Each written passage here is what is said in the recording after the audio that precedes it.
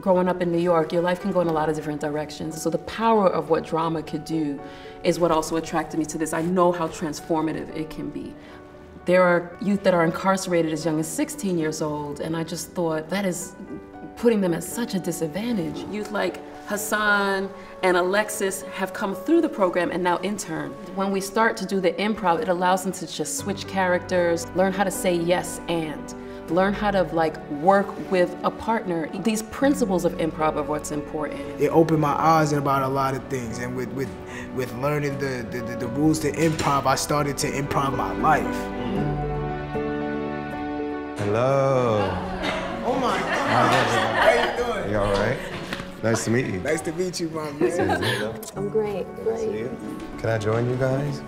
It sounds like what Drama Club is doing is helping to put them on a path to success. The arts is so powerful that it could not only transform the lives of the people that's incarcerated, but also the administration. And last year, we worked with over 400 uh, youth in the system. It's a system that's rife with abuse, and, and kids shouldn't be treated like adults to begin with. A lot of people look at you like you have no purpose now. They've given me a door, and I open that door, and I'm running through the door. This is a, my first foray into theater since I was in high school.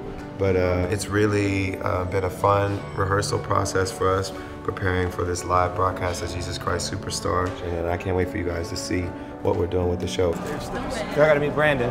Brandon's playing Judas. So basically, this is where the performers get mic'd. Yo, this is fly. it looks magical. You want to see some of the mixers and stuff over here? Yeah. Well, we're going through rehearsals right now, so we're building mixes and scenes as we go through the acts. Oh my gosh. I love theater, man. I never get used to this.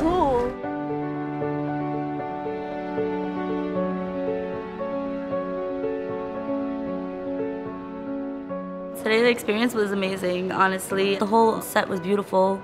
The way that they sing and they really brought the characters to life. I have a yearning to get back into performing. You see the production, you see people creating. Today was just like a look at where I can be if I keep on this path.